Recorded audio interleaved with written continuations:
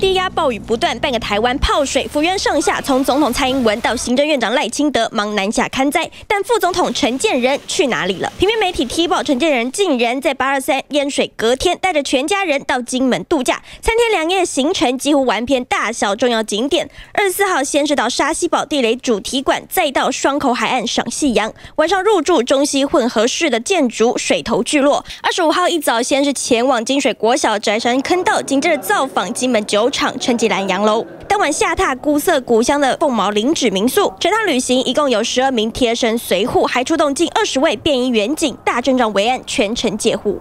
其实民进党的这些高官呢，离民间太远了，也当得太舒服。南部的恩大副总统带着他的家人到金门去度假。